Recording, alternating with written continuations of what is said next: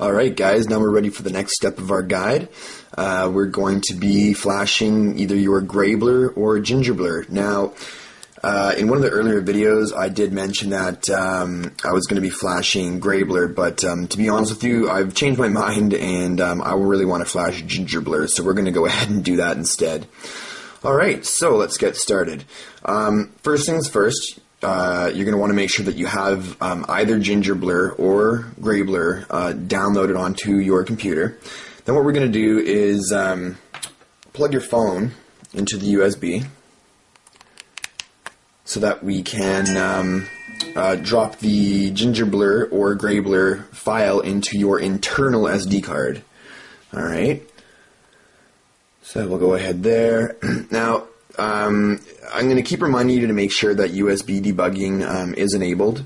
Um, chances are it'll just stay enabled um, since you have it clicked. It'll probably, uh, sorry, since you have the box checked, it'll probably stay on um, no matter how many times you reboot it. And in any case, that's that's the experience I've had with the phone is or with um, with the USB debugging is it's always on. So you'll be okay there. But uh, anyway, so for this time, I'm going to go ahead and make sure that I select USB connection and USB mass storage. Okay, this is how our phone is going to communicate with the computer to tell it that we're going to be um, uh, playing around with um, uh, the SD cards, the internal and or the external. But this time we're going to be playing around with the internal.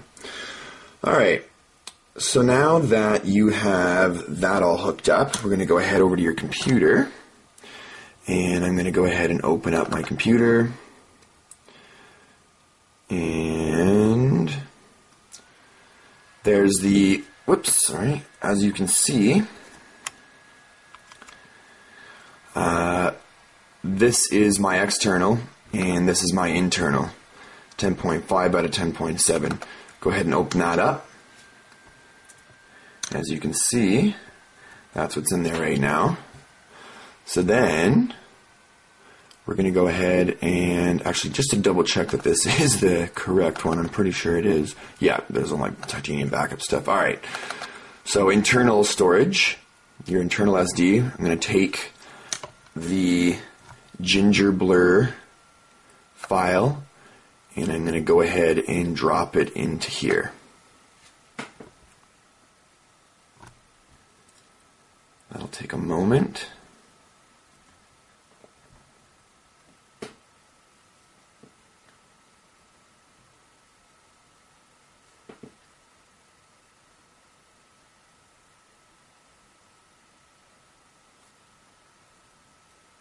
Alright, so that's in there now. We'll go ahead and get out of there. Um, personally, I prefer to always um, right click and um, scroll down to eject and eject each um, uh, each drive there. Oops. As you can see, it's saying in the corner there, it's safe to remove the hardware now. Alright, so we'll go ahead and close that down. Now we're going to go back to your phone. I'm going to go ahead, once that's all loaded up, and select USB connection and select none. Press OK. Alright. I don't know why you may not have to do that, but um, personally, I just I, I don't know. I just that's it's just a safety precaution for me. Um, anyways, so okay, so we're gonna go ahead and unplug that from the computer, and you're going to see here. We're gonna go and go in your app drawer, and we are going to locate the recovery that was automatically installed for us, system recovery go ahead and click on that. Now, we're going to be selecting recovery mode. Um, I believe you can select recovery mode and then plug the um, the adapter into the, uh, or sorry, your USB plug into the um, AC wall adapter. But I prefer to do it beforehand, just in case. So I'm going to go ahead and do that now.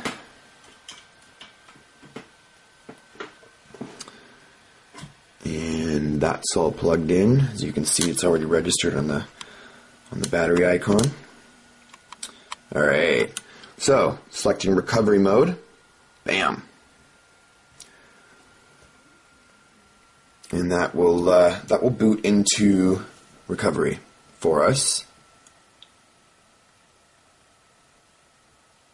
Just takes a few seconds here.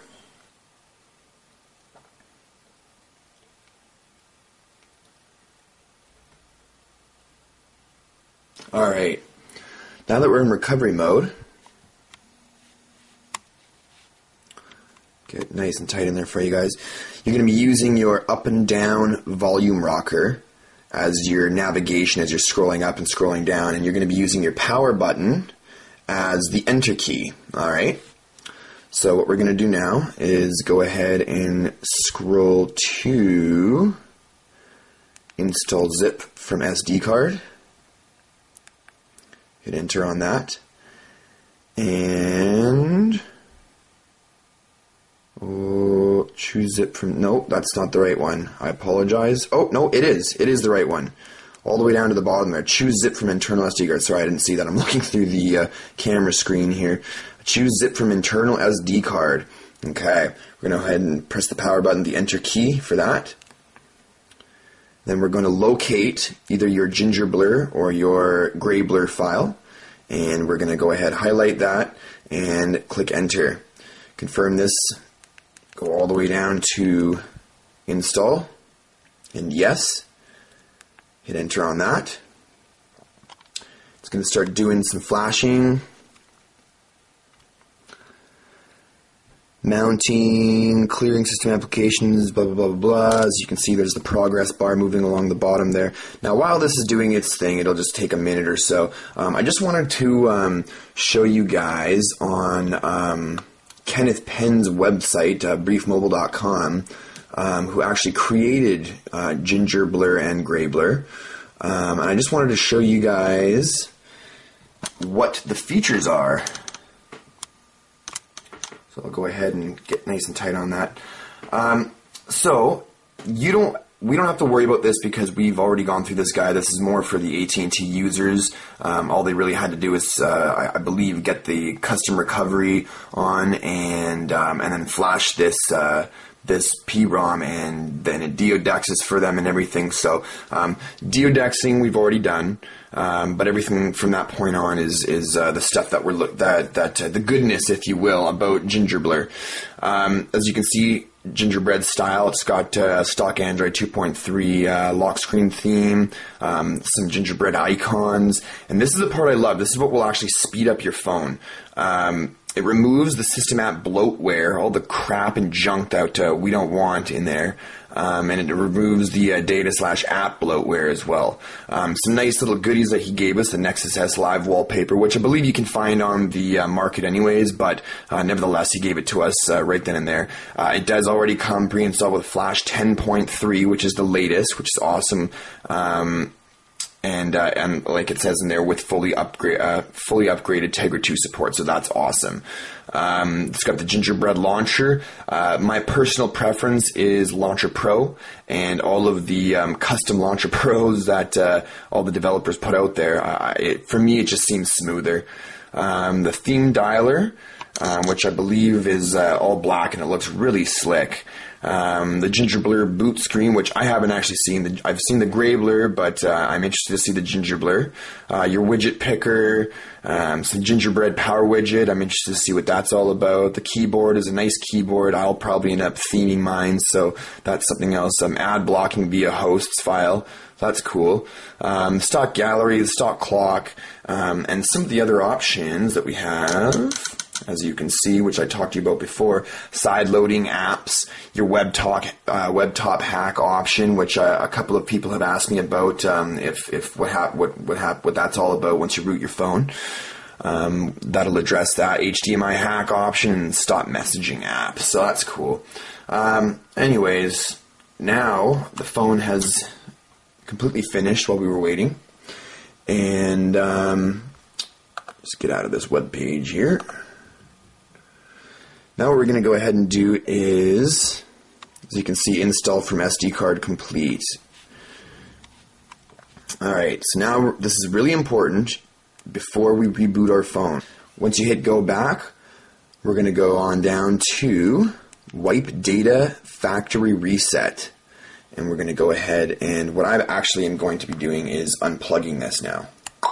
Just like that. Alright. And we're going to click wipe factory. We're going to go ahead and go down to delete all user data. And yes.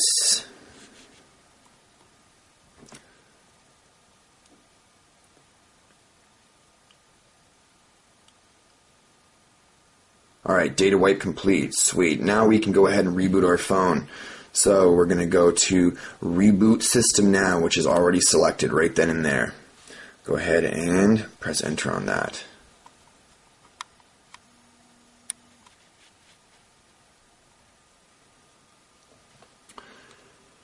And so while that's rebooting, I'm going to go ahead and cut the video and um, probably return to. Actually, no, I'm going to keep it going just so we can all see what the Ginger Blur boot screen looks like together.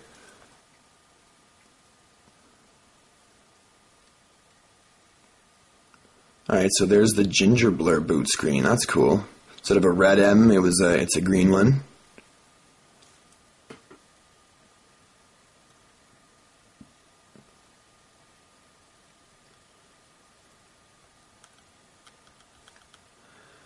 Alright, well, I'm pretty sure that's about as good as it gets for the boot screen. Um, but of course, we can always load some boot screens later on now that we're rooted. So I'm going to go ahead and cut the video now, and um, we'll come back on um, and, and go through a couple of things just before we're done uh, to finalize this uh, section of the guide.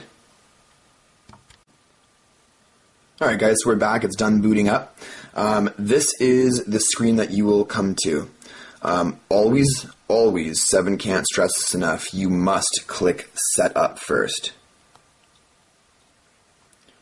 And what we're going to need to do is set up the Moto Blur just like we did the first time with the SBF. If we don't do this, it is going to cause some serious problems down the road. So uh, I can't stress that enough. Alright guys, so now that we've finished completing the um, Moto Blur uh, setup, um, I just wanted to uh, go over a couple of things with you guys. Um, you'll notice that when you when when the phone boots up just before you hit setup um, it will give you a force close for um, swipe.